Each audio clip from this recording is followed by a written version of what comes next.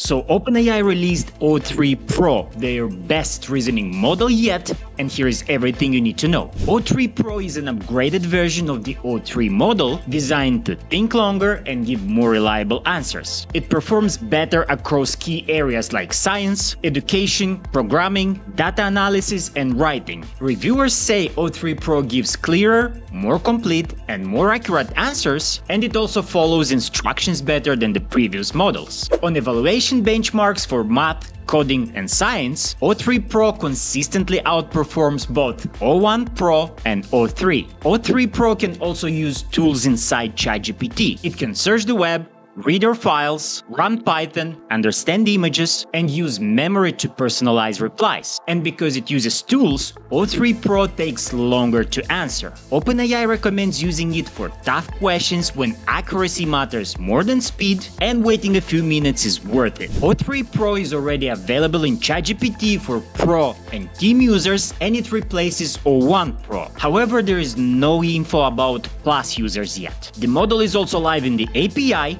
priced at $20 per million input tokens and $80 per million output tokens. The base model O3 is now 80% cheaper, down to $2 and $8 per million tokens.